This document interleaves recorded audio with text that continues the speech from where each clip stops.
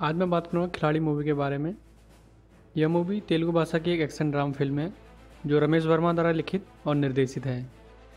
जिन्होंने इसे ए स्टूडियो के तहत सत्यनारायण कोनेरू के साथ को प्रोड्यूस किया है।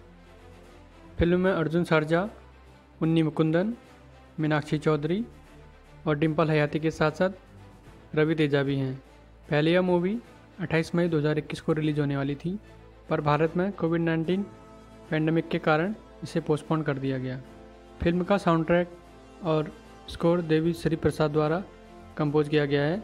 यह फ़िल्म 11 फरवरी 2022 को रिलीज़ हुई थी। इस मूवी में आपको एक्शन ड्रामा कॉमेडी के साथ साथ ट्विस्ट भी देखने को मिलेंगे। मूवी की स्टोरी है कि पूजा जो क्रिमिनोलॉजी में थीसस बना रही थी, वो अपने पिता के हेल्प से एक कैदी से मिलने जाती है और गलती से वह कैदी की बेल करवा देती है और कैदी भाग जाता है। फिर अर्जुन और पूजा मिलकर कैदी और मनी लॉन्ड्रिंग की मिस्ट्री को सॉल्व करते हैं। जून 2021 की शुरुआत में सलमान खान ने इस फ़िल्म के हिंदी राइट्स करण अर्जुन के रीमेक के लिए खरीद लिए हैं। ऐसी मूवी की जानकारी के लिए चैनल को सब्सक्राइब करें, वीडियो को लाइक एंड शेयर करें। धन्यवाद।